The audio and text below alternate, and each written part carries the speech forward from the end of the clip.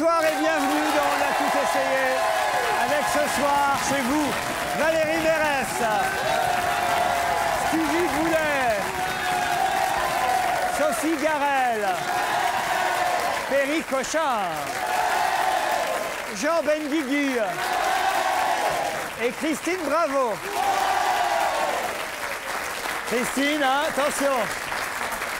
Vous avez intérêt à vous tenir à carreau ce soir. Pourquoi Bah, Il y a votre fille qui est en régie et qui surveille tout, je l'ai vu. Oui, et c'est Alors, pour ça que je vais me tenir bien, je vais bien parler. Elle vous surveille. Et je vais bien euh, me tenir. On voit qui porte la culotte à la maison, c'est la fille. Entre nous. Entre nous, Christine, qui elle aime bien, qui elle aime pas dans l'équipe là Parce que les, les enfants, ils ont tous des avis. non, elle aime bien tout le monde. Hop, hop, hop.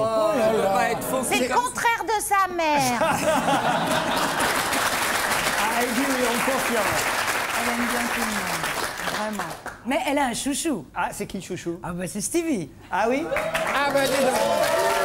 Pourquoi Parce qu'ils se sont connus tout petits. Elle comprend tout ce qu'il dit. Elle- elle- elle- Non, je me suis occupé d'elle aussi. Je l'ai gardée à Montréal. Enfin, je. Moi, je ne ferais pas garder mes enfants par Stevie. Ah bah t'as tort. Pourquoi donc Je ne sais pas, je ne ferai pas. Bah, remarque, quand j'étais petite, j'étais amoureuse de Jean Marais. Ah, je vois le rapport Alors Perry, parce qu'on a fait des tas d'essais, je vais vous dire avant l'émission, pour savoir si on voyait ou pas les nichons euh, de Perry. Ah mais tu vois Alors, ah bah, justement, on ne voit rien. Donc, tu peux enchaîner. Donc vous avez abandonné ou pas le non, on voit très bien. soutien-gorge on voit juste un Non mais arrête Il y a, il y a une dame derrière moi qui dit qu'on voit les tétons. Non, attends, justement, on a fait les essais pour éviter que les gens puissent en parler. Elle a Alors même toi, voulu tu mettre mets du fond de teint pour cacher ses tétons. C'est pas vrai. Non, parce que je veux pas exciter le bédouin, donc si tu veux. Le euh, bédouin nous, sommes, nous sommes retransmis. Jean Mais je, je prends ça très mal. Le bédouin, le bédouin. Bendigui, Bendigui, est-ce que Les vous êtes bédouins, les excité bédouins, tu veux que je te raconte, tu m'excites pas du tout. Même j'y la regarde, j'y l'oublie tout de suite. Qu'est-ce que c'est Mais c'est vrai, je m'excuse, je m'excuse, c'est. C'est vrai qu'on voit les bouts d'inénés. Non, mais Là. ça suffit maintenant. vous On le voit très bien, bien sûr qu'on Bon, le voit alors bien. je vais mettre des Kleenex à l'intérieur. Franchement, pour ce qu'il y a à voir, on va pas faire l'émission Eh ben là-dessus.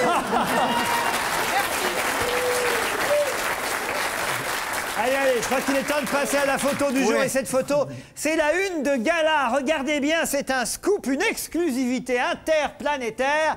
Regardez ce couple avec leur enfant qui fête son premier anniversaire. Un an. C'est pas mignon, ça, quand même. Hein? Qu'est-ce Elle a qu'un an? Pardon Elle a qu'un an cette petite Ah Non, c'est un garçon. Eh ben, Il s'appelle René, comme Ah non, son pas du tout. Non, mais je vous parle pas des trois inconnus qui. Non, je vous parle. Regardez bien.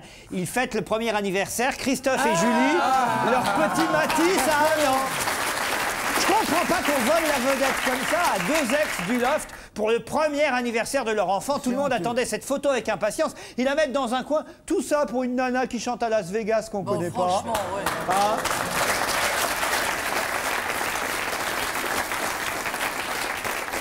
Euh, un, gamin, je sais pas- vous connaissez ce gosse là Je René ne connais Charles. pas les deux. René Charles, je ne connais pas. René Charles. Il a le même prénom que son papa. C'était plutôt un, un flacon, non, son père?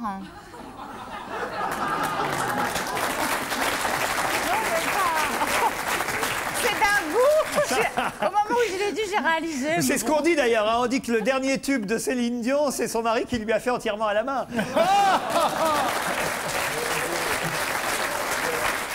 Moi, j'aime beaucoup Céline. Céline, elle est vraiment gentille. Puis elle le dit à l'intérieur, parce que si vous ouvrez les gars-là, elle vous explique tout. Céline elle dit qu'elle voudrait bien maintenant avoir un grand frère, enfin, pas un grand frère, un petit frère ou une petite sœur pour René Charles.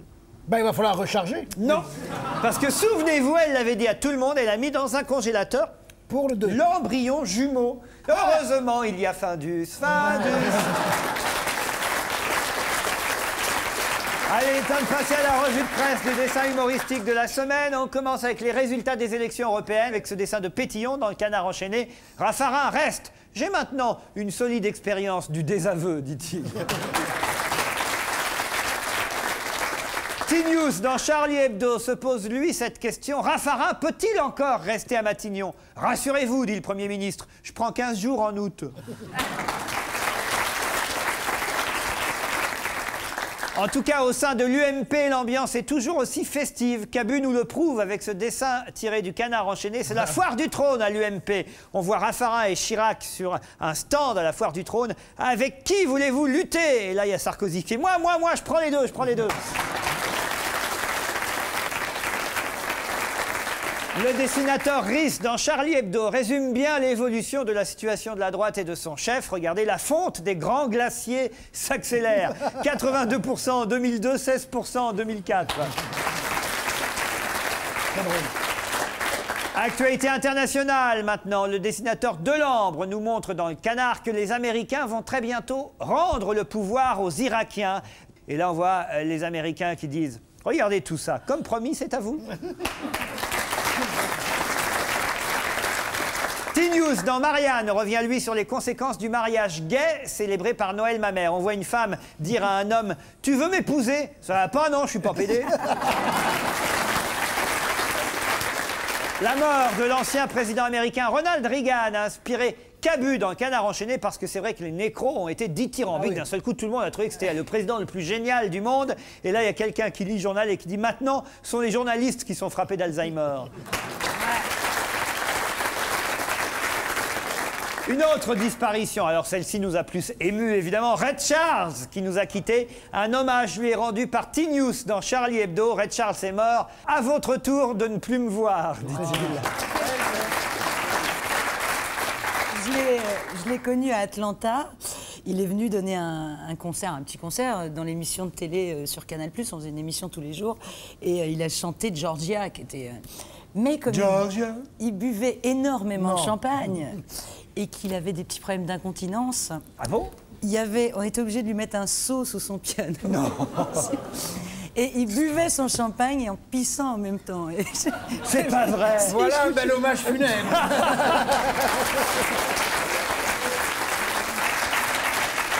Moi, j'ai vu en concert, c'était quelque chose de. de- c'était extraordinaire. extraordinaire. Il a- Moi aussi. on peut pas reprendre des chansons. de- de- de- derrière Red Charles, des choses, c'est pas possible. Alors, les grands standards de blues, tout ça, bon, les gens continuent à les chanter. Mais lui, il avait une interprétation tellement exceptionnelle. que- Et, et toujours unique. Toutes ces, toutes ces chansons, à chaque fois que tu le voyais, en, en tout cas en, en public, il, il démarrait, tu savais jamais sur quoi il allait aboutir. Lui non plus, d'ailleurs. C'est vrai.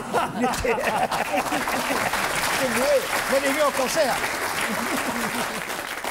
Si vos enfants. Écoutez bien, hein, c'est intéressant parce qu'en ce moment, si vos enfants sont particulièrement sages, bien élevés à la maison, ce n'est pas forcément parce que vous êtes de bons parents. C'est juste qu'on est en ce moment en plein dans la période des conseils de classe. Et qui dit conseil de classe dit parfois redoublement. Cette année, 4% des élèves, comme à peu près chaque année, vont devoir refaire une année dans la même classe l'an prochain. C'est un chiffre important. Cependant, la question reste entière. Le redoublement est-il efficace? Rend-il service à l'élève qui se retrouve au fond de la classe l'année d'après avec deux têtes de plus que tous les autres? Pour tenter de répondre à cette question, nous allons inviter une femme, professeure d'anglais. Elle va nous dire si effectivement redoubler c'est utile. Voici Claire Crépère.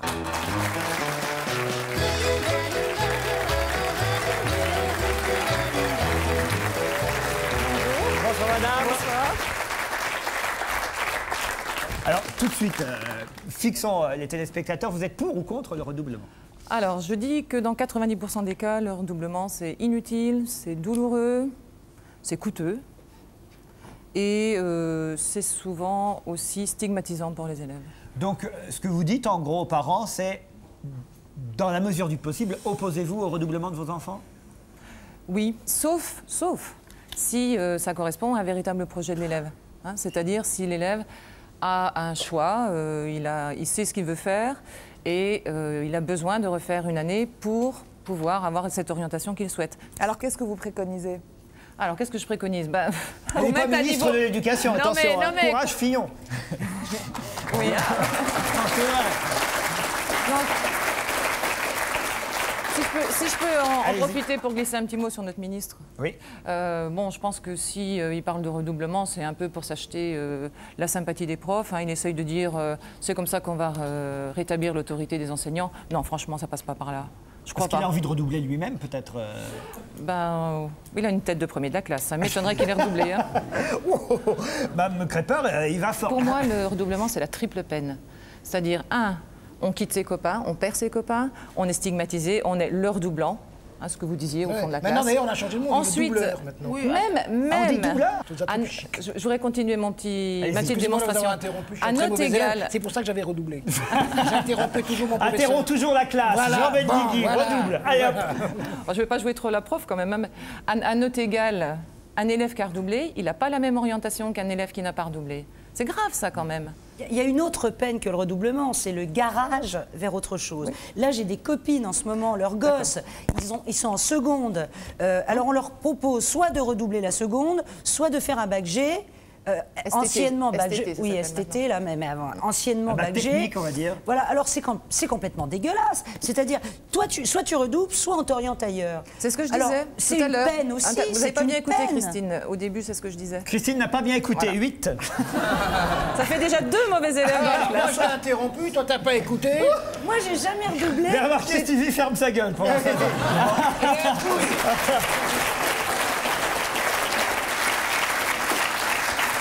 Mais les élèves totalement nuls, vous faites quoi? Alors normalement, si- dans, dans un système un peu idéal, on y viendra peut-être quand même. Des élèves complètement nuls, il ne devrait pas y en avoir. bien sûr. Tous les élèves sont éducables. Mais Donc dites, euh, l'important, c'est de commencer, dès qu'on détecte les difficultés, à les aider, à les accompagner. Et des profs un peu plus sympas, parfois, ça peut le faire aussi. Ouais. Surtout les profs d'anglais. Surtout les profs d'anglais. Ah oui, oui, surtout. Qu'est-ce que vous avez contre les profs Moi d'anglais j'adore Oh, les les profs d'anglais. Ils ont tellement bien appris l'anglais, les profs d'anglais.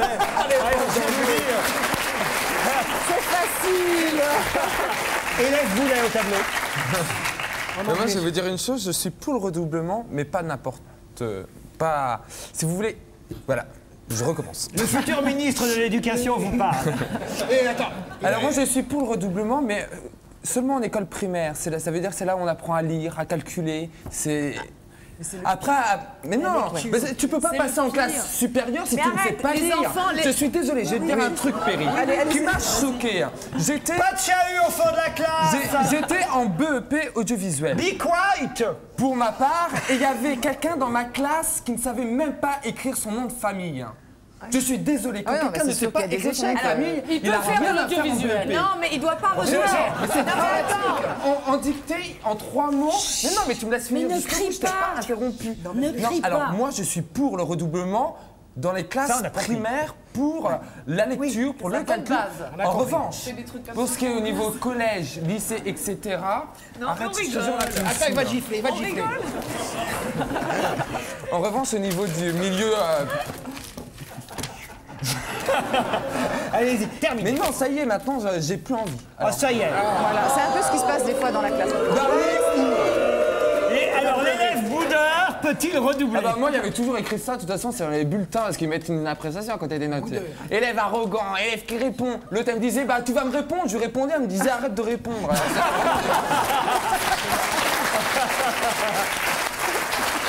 Alors, Alors, répondez à la première répondre, partie de la peut répondre question. quand même sérieusement à ce que disait Stevie. Toutes les études euh, faites sur le redoublement montrent que c'est en primaire que c'est le plus négatif. Vous, dé- vous détruisez toute l'estime moi j'ai de, été de soi de ce instite de gamin-là. primaire. Putain, les pauvres gamins. Mais pourquoi C'était une très bonne. Je t'interdis de dire ça. Moi, j'étais dans sa classe et c'était une très bonne instite. C'était dans ma classe. Oui. Vous avez eu Christine comme maîtresse Mais moi, je crois la solution pour répondre à Stevie, sérieusement, euh, je pense que ce qui serait mieux au lieu du redoublement en primaire, ce serait d'être 15 en classe. Et là, il n'y aurait pas de problème et il y aurait moins de chômage et au moins, il y aurait des élèves qui pourraient avoir le temps d'apprendre à lire, etc. Il y aura peut-être moins de chômage, mais où l'État va trouver l'argent pour ajouter Le ça? futur ministre du Bah budget oui. vous parle. Ah même extraordinaire. Alors, par contre, par contre, euh, pour en revenir au redoublement, ma fille a, a redoublé sa seconde. Elle avait rien foutu la première seconde. La deuxième seconde, elle s'est fait une bande de potes. Elle est super contente d'avoir redoublé. Cela dit, elle arrête parce qu'elle va faire actrice. Bon, non.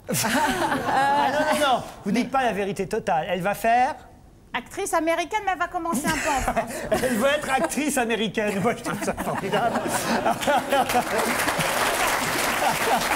Sophie, Alors moi, je n'ai pas seulement doublé, j'ai triplé.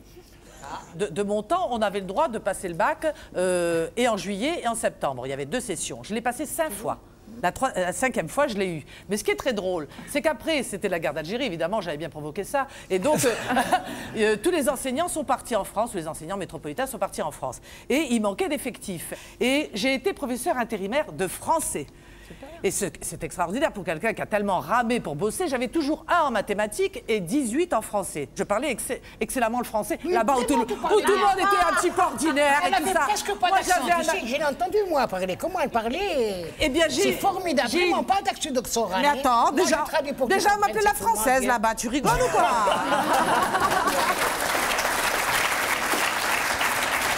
la vraie question, et ce sera la dernière, parce que c'est aïe, ça qui va être utile peur, pour, là. euh, pour nos téléspectateurs, c'est... Alors, voilà, vous apprenez que votre enfant va redoubler. Alors, il y a moyen, évidemment, euh, de s'opposer au redoublement, dans tous les cas, et jusque dans quelle mesure?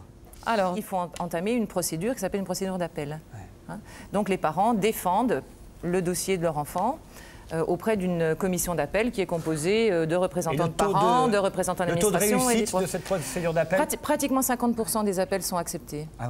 Et il faut le dire aux parents, hein, il faut y aller. euh, S'ils y croient, s'ils pensent que le. C'est eux qui connaissent leur enfant le mieux, je crois.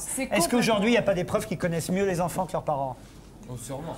Oh, on va pas rentrer là-dedans. Ah bah mais- Non, non, je suis pas d'accord parce qu'on va, on va, on va commencer à dire des missions des parents et tout, c'est facile, c'est Non, facile. Non, moi je crois que l'éducation nationale, elle a son boulot à faire et il faut pas qu'elle mette euh, Mais sur le c'est dos pas des normal, parents madame, que l'éducation nationale élève les, les enfants. C'est plutôt le, le rôle des parents. Ah, mais c'est tout à fait bah, le- d'accord. La voix de la réaction a parlé, voilà, vous inquiétez pas. On a, on a des rôles Le partagés. ministre de la Famille vous parle C'est Christine Non, mais- Boutin, Christine Boutin, maintenant. j'allais le Mais dire. J'étais dans, j'étais une école. J'ai toujours été en école privée, On sauf terminera à avec la ça. fin, j'étais en école publique. Et c'est triste à dire, mais les profs, ils avaient même pas le temps de faire la leçon. Ils faisaient sans arrêt, sans arrêt, sans arrêt la morale. Et Bah d'ailleurs, il faudrait réinsérer dans l'éducation nationale, comme ça, ça réglera le problème, un cours de morale, un cours Alors, de cuisine. c'est le contraire et un de ce cours que je vous sais pas disiez. quoi. C'est le contraire de ce que tu viens de Mais- dire. Des heures en plus, de 22 à Mais 23 si, heures. au lieu de perdre des, heures, quand c'était les mathématiques, franchement, ça me dérangeait pas. Mais par exemple, pour Vous savez comment il parle à la caméra parle? Le nouveau ministre de l'audiovisuel vous parle. Allez, on remercie, Mme Préter. Merci pour vos réponses à nos questions. Dimanche dernier, vous le savez, Jean-Marie Cavada, l'ancien président de Radio France, Jean-Marie Cavada, devenu tête de liste UDF aux élections européennes, a été élu au Parlement de Strasbourg dans la circonscription du Sud-Ouest. C'est donc du côté de François Bayrou qu'il s'est engagé vu les résultats de l'UMP dimanche dernier, il a plutôt bien fait. L'ancien journaliste, créateur de la célèbre Marche du siècle, on s'en souvient sur FR3 ou France 3, va donc enfin connaître les joies de la politique. Il y a même déjà un peu goûté puisque mardi, des employés d'EDF ont coupé le courant chez lui parce qu'il est favorable au changement de statut de l'entreprise. Ça commence bien. Nous allons tester ensemble le nouveau eurodéputé, on peut appeler ça comme ça. C'est un eurodéputé maintenant, et peut-être même un heureux eurodéputé. Voici Jean-Marie Cavada.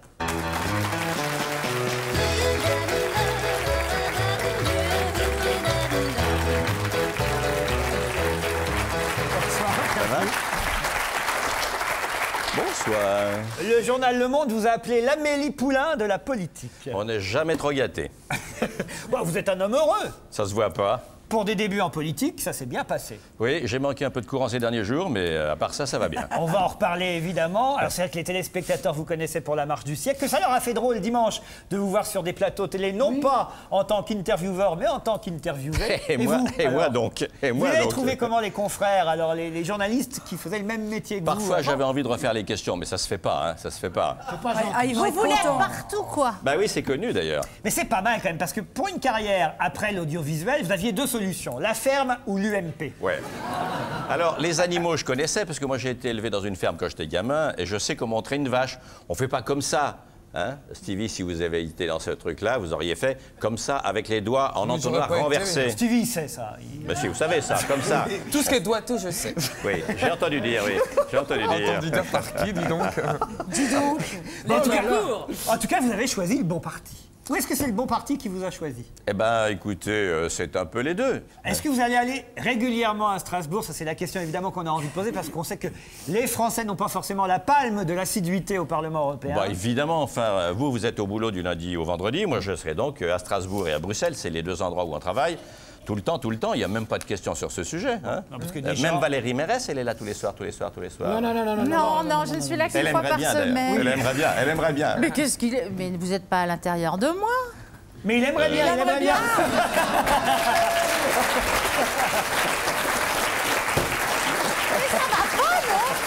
Alors Jean, Bon, moi, moi, moi, je veux dire, le- le- l'accroche, là, de, quand, quand vous êtes entré, me- monsieur le député, puisqu'il faut vous appeler comme ça maintenant, euh, euh, c'est entièrement faux. Amélie Poulain de la politique, Amélie Poulain, c'est quelqu'un qui débarque, qui est naïf.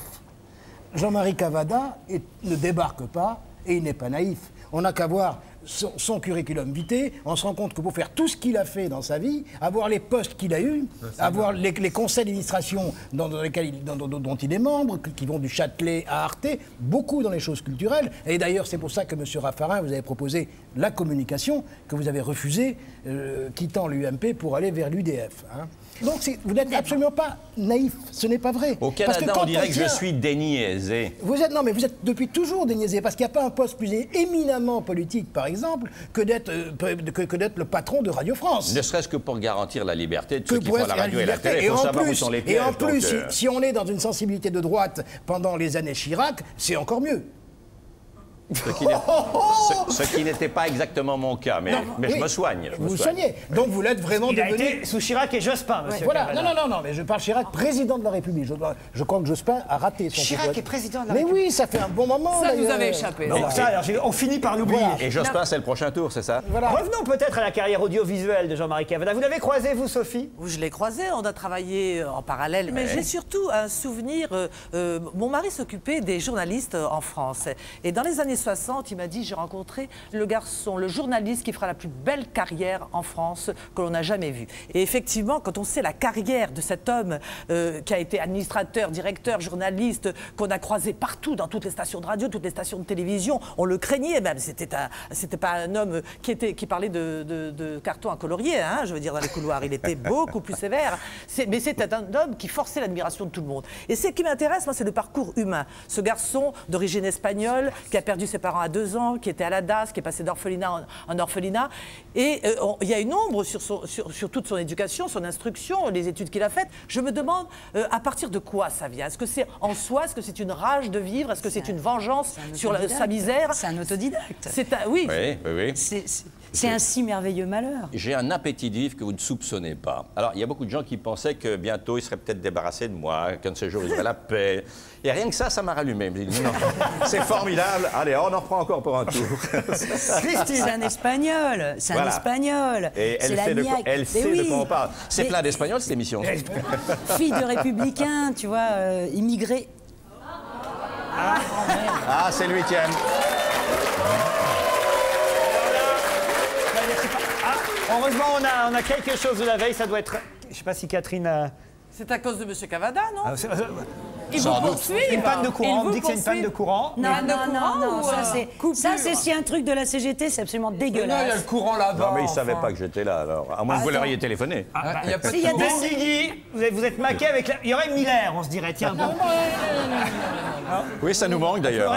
Ce qui est incroyable, c'est que il n'y a pas de courant, mais les caméras tournent toujours. C'est quand même dingue. Il n'y a pas de courant, il y a quand même juste celle-là qui est allumée, les caméras continuent à Il est tourner. moins con que les autres, hein, Stevie.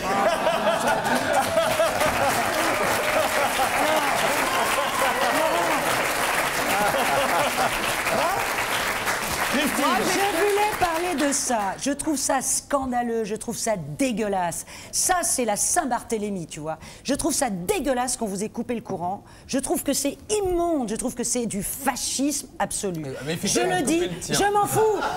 Je m'en fous. Mais, mais, mais, dans quel pays on vit? Oui, c'est-à-dire pourquoi ils vous Pour- enlèvent pourquoi pas euh, avec euh, une demande de rançon Ah, euh, bah, Attends, attends. Pourquoi Parce ils vous qu'ils savent que personne, du même ordre, ils savent que personne désolée. ne payerait. Il y en a même qui payeraient Non, pour mais- qu'ils me gardent. Alors, Non, mais là, attendez, Christine, ça, c'est la première chose. pardon. Et pardon d'avance pour Jean-Marie Cavada, je ne lui souhaite aucun mal, je souhaite qu'il ait l'électricité le plus longtemps possible. Mais moi, ça me fait plus marrer de savoir qu'on a coupé le courant chez Jean-Marie Cavada que de savoir que des centaines ou des milliers de gens n'ont pas pu prendre le train à. Saint-Lazare parce qu'on a coupé le courant en train de banlieue. C'est pareil. Je vais vous dire la vérité. Non, je vais vous dire-. Non, c'est pas Je vais vous dire la vérité. Alors, prendre en otage. Je vais vous dire la vérité de cette affaire. Euh, D'abord, moi, je ne me suis pas prononcé publiquement. Donc c'était pas ça le motif, mais ils ont repéré des personnalités, et voilà. Mais euh, ça s'est très vite euh, et très bien passé parce que j'ai passé deux coups de téléphone euh, à la direction d'EDF d'une part pour les alerter de quelque chose que je vais vous expliquer, et puis d'autre part à la direction de la CGT. Il y a dans ma maison deux personnes euh, d'un certain âge qui sont médicalement en difficulté. Voilà. Et l'absence de courant pouvait être dangereux, donc ils l'ont rétabli tout, de suite. Donc n'en Oui, parlons mais plus enfin, ça, il et faut le passons autre demander avant, peut-être. hein. Écoutez, voilà la vérité. Sylvie Boulet, un dernier mot. Bah oui, moi, bah, je suis pro-européen aussi. Bah, c'est et- bien. Ouais, c'est bien, mais ça, pour. Alors, Vous êtes quand on est pro-européen, il y a Vous différentes voter façons. Vous Oui, êtes- je suis parti voter. Génial, très bien. Et euh, parce que moi, je veux une Europe fédérale, je veux une Europe, je veux un président de l'Europe, je veux un premier ministre de l'Europe, je veux une armée commune européenne, je veux une il est génial cet homme, il Et est je, et je génial. voulais savoir si Et c'était je veux aussi... rentrer à l'EDF. Je vous emmène en Irak,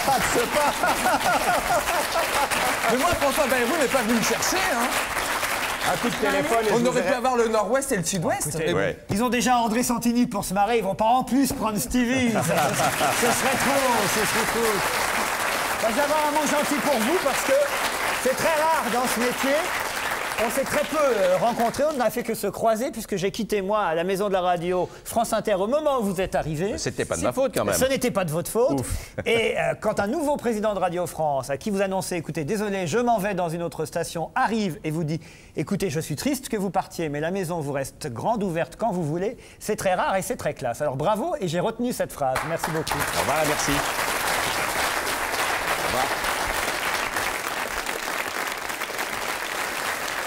Notre dernier invité pour ce soir, c'est quelqu'un qui, le 28 juillet, sera à l'affiche du film Cause toujours, un film de Jeanne Labrune, avec entre autres Jean-Pierre Daroussin, Sylvie Testu. Elle, c'est Victoria Abril. Le film qu'elle vient nous présenter est une fantaisie portant sur le soupçon et la confiance qui débute dans le film par l'apparition, ça peut paraître curieux, d'une mythe dans la cuisine. La cuisine, justement, de Victoria Abril. Et c'est cet insecte qui va être l'élément déclencheur de toute une série d'événements. Pour tester ensemble Cause toujours, accueillons justement une actrice qui aime causer, l'actrice espagnole préférée des Français, Victoria Abril.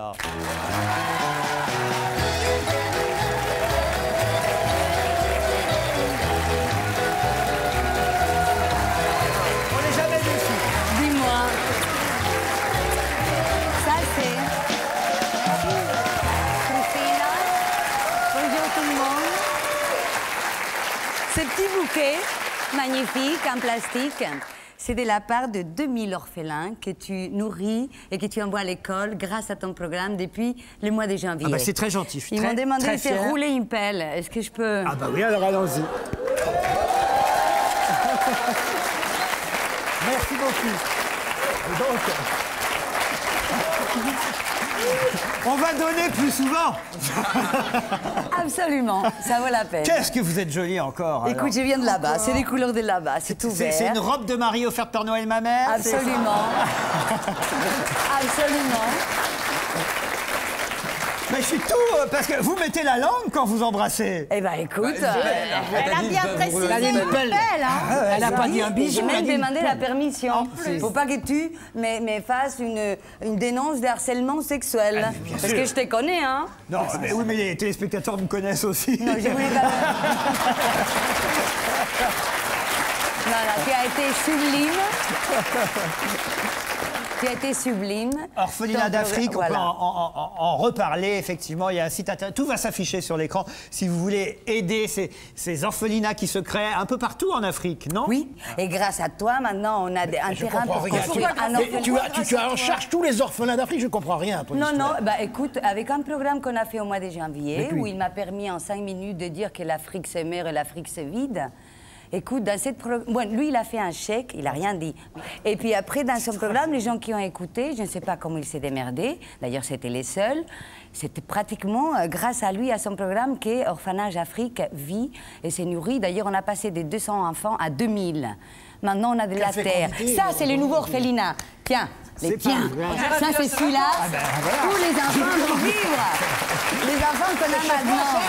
Les nôtres, ça c'est les nôtres. C'est chez toi, C'est Bobo. nouveau. Pardon Je me demandais où passer mes vacances. Mais c'est chez toi. C'est un peu, voilà, c'est un peu chez nous, Victoria. Voilà. J'espère que mes camarades ont fait comme moi. Je ne vous pose pas la question, je ne vous... Mais tous avaient promis d'envoyer quelque chose. Eh ben, je dirai rien. Je parle que du bon et du positif. Ah, moi, j'étais pas là. J'étais pas là. Non, ils étaient pas là. Aucun, aucun était là. Une promesse, c'est une promesse. Quand on promet, on tient. Voilà, moi, Eh ben, je dis c'est écoute, comme ça. Merci, encore merci. Alors là, c'est bien d'en reparler, mais vous êtes là aussi quand même pour votre carrière aujourd'hui, Victoria. Euh, quelle carrière du bas, mais non, je porte pas. Ah non, enfin, quoi, là, on peut être fier. Un film de Jeanne Labrune, ils sont, Absolument. ils sont plutôt bien généralement, les films de Jeanne Labrune. Très très bien. Cause toujours. Regardez la bande-annonce. Léa a disparu. Tout le monde la cherche. C'est bizarre ça, c'est pas son genre. Elle s'est fixée sur un muet. Quel muet? C'est le muet qui travaille à la supérette. Et s'est barré avec lui? Ancien légionnaire? Avec elle, on peut s'attendre à tout. Hein. C'est un légionnaire? Il a failli se faire égorger à Djibouti. C'est curieux parce qu'on m'a dit égorgé au Zaïre. Moi, je ne l'ai vu qu'une fois. Et c'est un petit peu étrange. Il vient de rentrer. Non, non, mais te retourne surtout pas, hein Non, mais t'es fou. Bah, attends, j'en ai marre, y'a que moi qui peux pas regarder ce muet. Moi, j'aurais voulu savoir comment il était exactement. Il est normal, hein, brun, ni grand, ni petit, il est garni comme toi et moi. Si tu savais ce que je prends plaisir à faire, tu te méfierais. Moi, je suis assez d'accord avec elle, hein. Je pense qu'au fond, on est tous plus ou moins homo. Excuse-moi, je peux pas voulu dormir avec Laurent. On me raconte que des trucs glauques. Des trucs de viol, de sodomie. De sodomie? Et tu mets Bruno dans son lit J'éteins. Oui, si.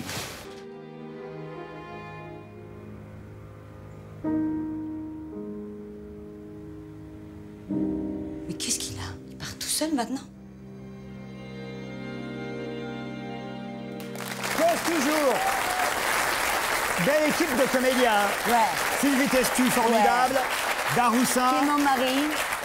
Daroussin, c'est votre mari. Ouais. Didier Bezas. Oui. Alors, c'est une belle Qui est l'ami de mon mari. Voilà. Oui. Et toute cette équipe eh bien, euh, forme euh, ce casting de Cause Toujours que vous avez vu, vous, Péricochin, et vous avez aimé ça, je crois. J'ai passé un moment délicieux parce que c'est intelligent, c'est malin, c'est super bien joué. Et moi, je, je me suis vraiment prise au jeu, je- j'y ai cru, je me suis dit, ça y est, elle a vraiment disparu, elle est... Racontez un peu un petit résumé de l'histoire pour les Bah téléspectateurs. oui, mais il y a du suspense. Ah, faut donc, pas tout dire. Il faut pas- il faut pas dire. Alors, ça commence, en fait, euh, Victoria découvre dans sa cuisine des petites bestioles volantes. Des mythes.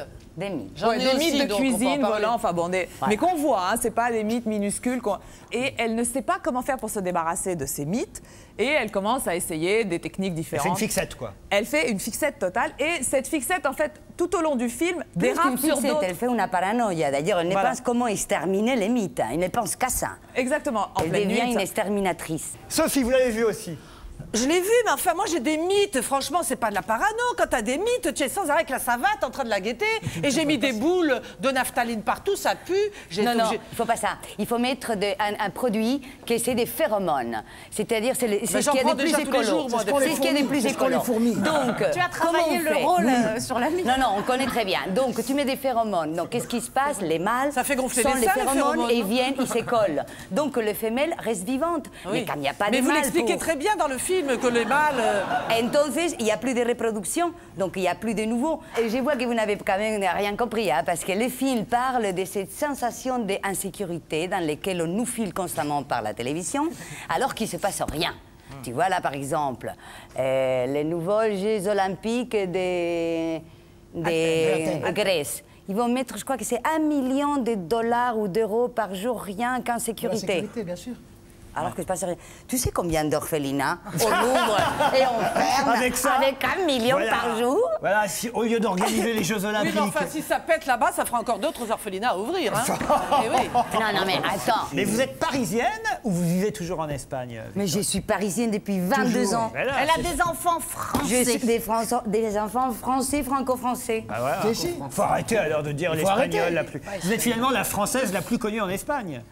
Oh là là, il faut pas qu'ils t'entendent quand même. Ah, ah, voilà. Parce que déjà, les Larousse avaient dit actrice française d'origine espagnole. Je te dis pas en Espagne. Comment ça Espagnole, française d'origine espagnole? Larousse. Là, ça intéresse Christine. Ils n'aiment pas ça, les Espagnols. Ils s'approprient. euh, Puis c'est une actrice qui a tourné avec Moi, je Almodovar. suis planétaire, mondiale, euh, européen. Et tu comprends Et bien sûr, je euh, comprends. Voilà. Je suis à tous. Je suis au gagnant, je suis aux orphelins, je suis à vous, à tous, à Vous celui êtes qui me là où bien. on vous demande. Voilà. Voilà. À propos d'Almodovar, vous avez dit un truc qui me fait marrer. On peut pas demander à quelqu'un de bander éternellement pour soi. Bah Mais oui. si, on peut. Non, c'est bien de Je dire me vois ça. pas Mais entre les si. dire, euh, non, bah non, on peut pas. Mais pourquoi il bande plus? Bah non, ça, non, mais- ça se monte pas, ça n'est se pas hein. pas. Euh, ça Tu sais, des gens avec qui tu as eu des grandes aventures artistiques pendant un moment. Il y a un moment, il y a un faut moment où ça te s'arrête. Ça Voilà. s'arrête. Je voulais vous le dire, ça.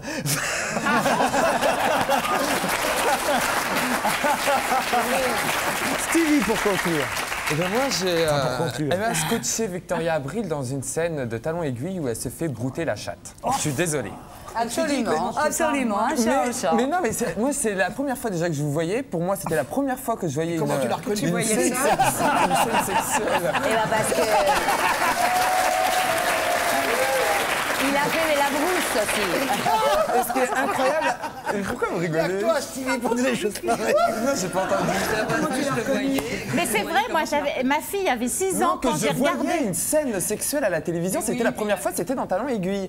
Et ce qui est incroyable chez vous, c'est il peut y avoir n'importe quoi à la télévision, à partir du moment où voit- on voit votre nom dans un film en prime time, eh bien on va tout de suite sur vous parce que vous avez un capital de sympathie, on sait qu'avec vous on va passer une bonne soirée. Il y a très peu d'actrices ou d'acteurs qui sont comme ça. Il y a vous, pour ma part, après chacun... Tu veux que je des- te roule une pelle, c'est ça?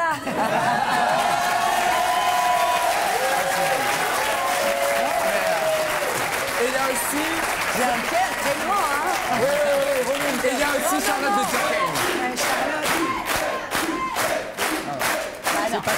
C'est pas ça, mais. Alors, On tomber de- amoureuse, depuis le temps qu'il rêve de récupérer un peu de ma salive, allez-y.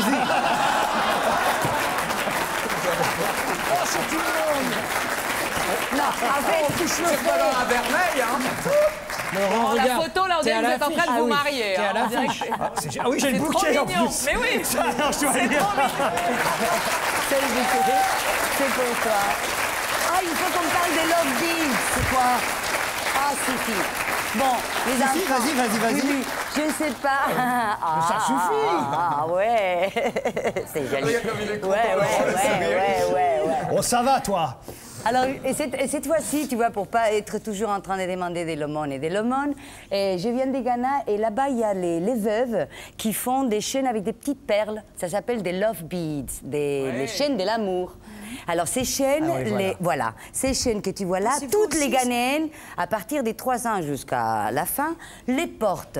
Mais ça se porte là-bas sur la culotte à la peau même. Ah, tu ne portes que ça. C'est très sexy. Donc, si vous achetez ça, vous aidez et les veuves et les petits-enfants orphelins dont on s'en occupe. Oui, j'en ai un. Je Ah. te montrerai tout à l'heure. Cause toujours les Love Beats et on rappelle l'association Orphelinat d'Afrique. Euh, vous pouvez aller sur le site internet qui va s'inscrire, je le rappelle, www.oafrica.org. T'as qu'à finir.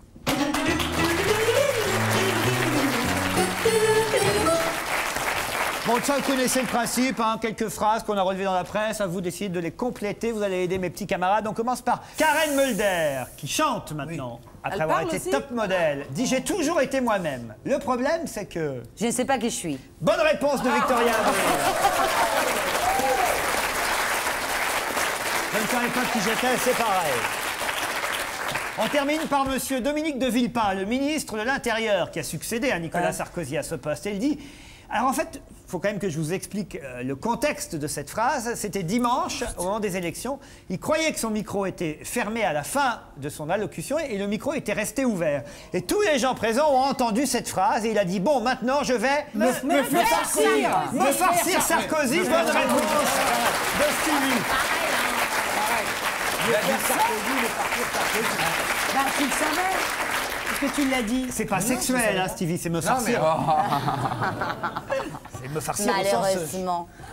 On aimerait, on aimerait qu'ils fassent l'amour, les oui. ministres, Quoi, ensemble. Villepin et Sarkozy ensemble? Ah oui, qu'il fasse de plus l'amour et moins la guerre. Hein Voilà, exactement. Je pense On que aurait beaucoup moins d'orphelins à s'occuper. Voilà. Et d'une. Ça, c'est pour l'Espagne. Cause toujours, ça sort le 28 juillet à l'affiche, donc ce film de Victoria, pas de Victoria. Ce Jeanne film Lavrine. Avec, tiens, d'ailleurs, Qu'est-ce qui se Pourquoi passe vous réalisez pas un film là? Parce que j'ai pas le temps. Bon. Voilà, c'est trois ans de ta vie. Un pour écrire, un pour tourner et un pour pour promotionner. Pendant trois ans, tu vois pas tes enfants, tu baisses pas avec ton fiancé. Tu ne fais que autre chose que t'occuper à ça. Non, il faut que j'attende que les enfants aient la barbe dure. Cause toujours le 28 juillet sur les écrans avec Victoria Abril. Bye bye, à lundi.